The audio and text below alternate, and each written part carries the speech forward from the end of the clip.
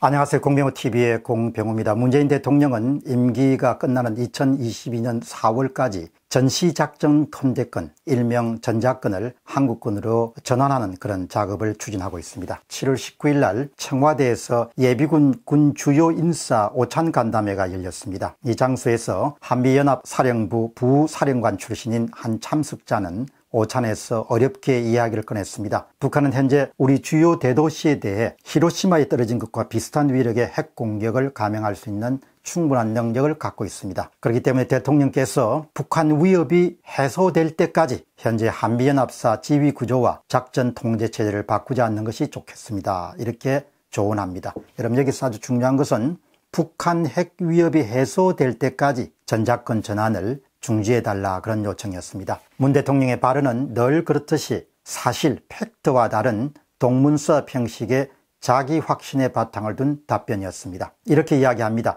작전권 전환 후 기존 한미연합사를 대체할 미래연합군 사령부 체제는 오히려 한미연합 방위력을 강화하는 것입니다. 엉뚱한 답이죠. 여기서 미래연합사 체제가 과거의 한미연합사 체제보다도 방위력을 강화하는 것이다. 이런 대통령의 주장은 사실과 다릅니다. 군의 실상을 잘 아는 군 원로들은 전작권 전환을 반대하는 이유가 무엇일까? 또 왜 문 대통령을 그렇게 서둘러서 안보 환경이 아주 급격히 바뀌고 있는 상황에서 북한 핵이 거의 기정사실화되는 그런 상황에서도 전시작전권 해수를 그렇게 서두는 것일까? 의도가 무엇일까? 이런 궁금함을 갖게 됩니다. 첫 번째 질문입니다. 전시작전 통제권 무엇인가? 전시의 군대를 총괄적으로 지휘하고 통제할 수 있는 권한을 말합니다. 현재 전시작전권은 한미연합 사령부가 갖고 있고 평시작전권은 한국합동참모본부가 소유가 있습니다.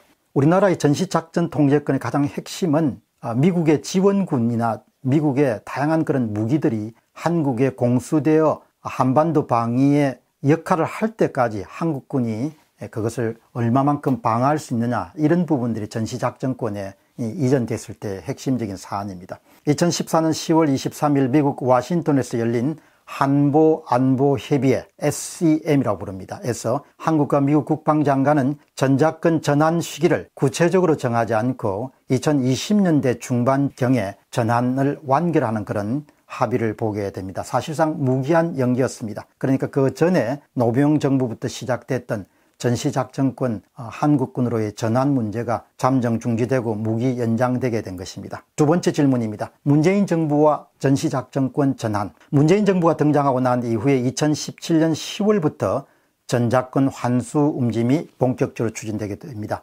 2017년 6월 한미 양국 정상회담 이후에 발표한 공동성명에서 북한 핵에 한국이 대응 능력을 갖춘다는 조건 아래서 한국군으로서의 전작권 전환이 조속히 이루어지도록 한미 정상은 서로 협력한다. 이런 여기서 아주 중요한 것은 2017년 6월 달에 한미 정상 공동 성명에서 나온 전시작전권의 한국군 전환이라는 것은 아주 중요한 전제 조건이 있습니다. 그 전제 조건은 북한 핵에 대해서 한국이 적절하게 대응할 수 있는 조건이 충족된다면인 겁니다. 그러나 현재를 기준으로 보면 북한 핵에 한국이 대응 능력을 갖추는 것은 구조적으로 불가능할 정도로 안보 환경이 악화되어 있는 상황입니다. 그럼에도 불구하고 문재인 대통령이 전시작전권 전환을 밀어붙이는 겁니다. 그러니까 2014년보다 훨씬 더 안보 환경이 열악하게 된 겁니다. 그 당시는 북한의 핵 위협이라는 것이 바로 표면에 드러나지 않았기 때문입니다. 또 보시죠. 2017년 10월 10일 국회 국방위원회에 참석한 당시의 송영묵 국방장관은 전시작전 통제권을 시기와 조건에 맞춰 조속한 시일 내 환수하겠다 이렇게 밝힙니다. 당시에 송 장관의 논리는 전작권 환수는 우리 군의 체질과 능력을 비약적으로 발전시키는 계기가 될 것으로 믿기 때문이다. 이것도 참 논리적으로 어, 일관되지 않고 맞지 않는 주장입니다. 전작권 전환으로 군의 체질과 능력을 발전시킨다는 논리는 옳지 않고 스스로 북한에 대응할 수 있는 실력을 갖췄을 때 전시작전권이 전환이 돼야 되는 것이죠.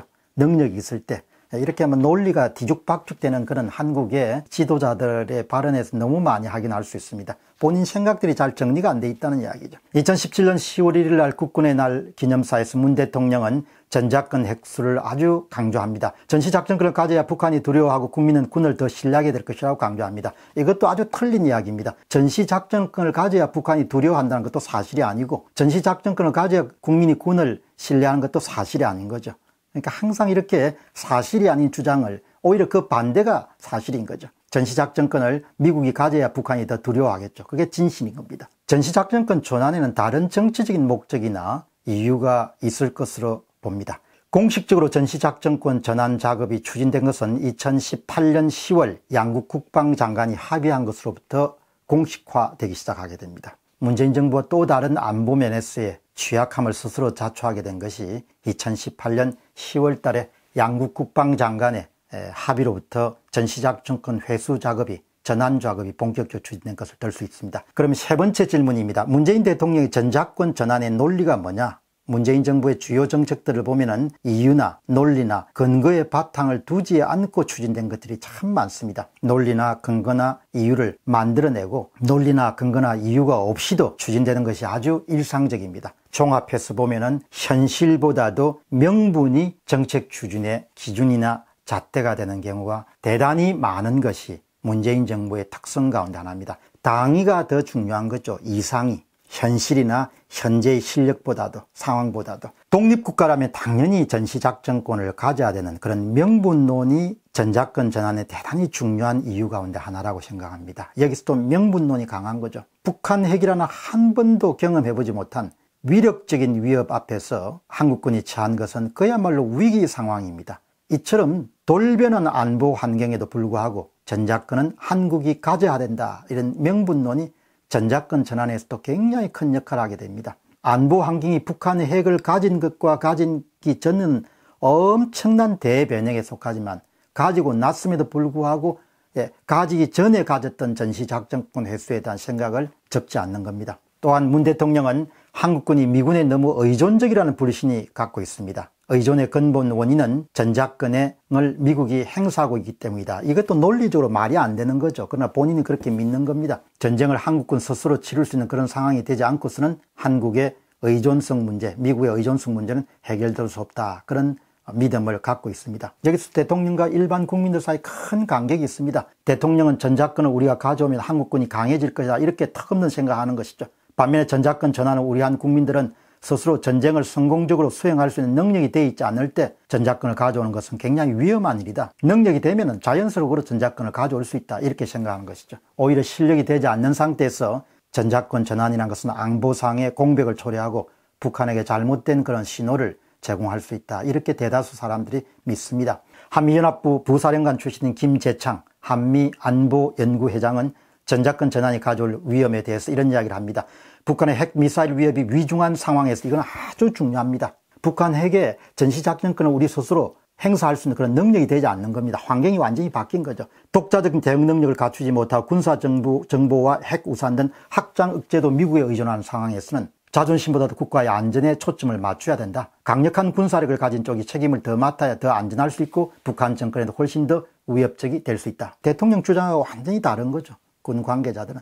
전작권 전환을 서두른 다른 정치적인 목적도 저는 있다고 봅니다. 임기 내 전작권을 해소한 대통령으로 기록되고 싶다는 그런 이유겠죠. 그 밖에 다른 정치적인 목적도 분명히 있을 것으로 생각합니다. 그러나 이 정도에서 오늘은 이야기를 마무리할 이야기입니다. 네 번째 질문입니다. 전시작전권 전환 고려하지 않은 두 가지는 반드시 우리가 체크해야 됩니다. 문정부의 전작권 전환에서 두 가지는 전혀 고려되지 않았습니다. 하나는 우리가 전시작전권을 가져올 만한 실력을 갖고 있는가 특히 최근에 급격하게 변한 안보 환경 다시 야인 북한이 핵을 직접 행사할 수 있는 그런 환경에서 우리가 전시작전권을 행사할 만한 그런 실력을 갖고 있는가? 이 문제에 대한 답이 현재 추진하고 있는 문재인 정부에서는 정확한 답을 내놓을 수가 없습니다. 핵을 갖고 있는 상태에서 핵을 없는 사람들이 전시작전을 어떻게 행사하냐.